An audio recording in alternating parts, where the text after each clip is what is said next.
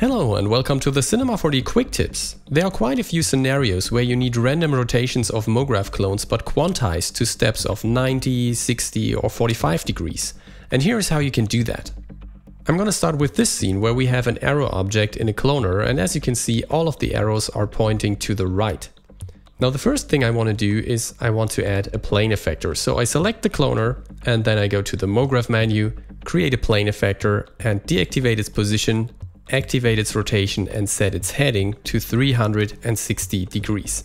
Now, it seems like nothing was happening, but if we go to the Effector tab and move the strength slider here, you can see that the arrows are actually rotating. And this is what we're going to take advantage of. Because if we now set the strength to 50%, for example, the arrows are pointing to the left. If we're setting it to 25%, they are pointing up. And if we are setting it to 75%, they are pointing down. Okay, so let's set them back to 100% and now let's go to the fall off tab.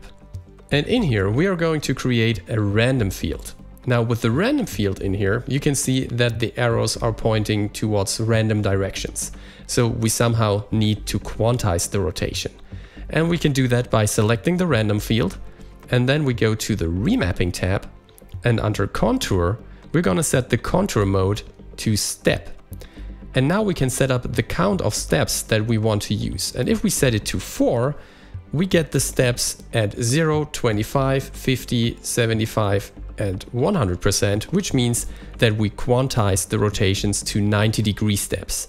Now if we want to use a quantization of 60 degrees, we just have to type in 6 in the steps count. And if we want to use 45 degrees as the quantization step, we have to use 8 as the number of steps. And this is how you can create quantized random rotations of MoGraph clones in a very flexible way. Thanks for watching. If you enjoy our quick tips, please like, comment and subscribe.